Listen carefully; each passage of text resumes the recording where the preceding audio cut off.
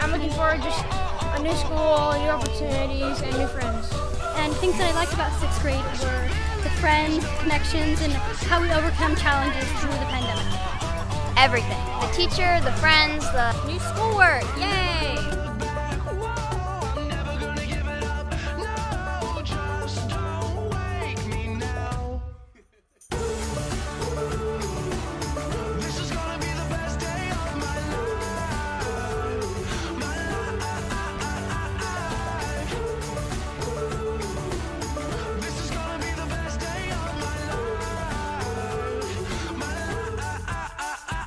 I loved all my friends in sixth grade and I'm looking forward to having different classes and making new friends in seventh grade.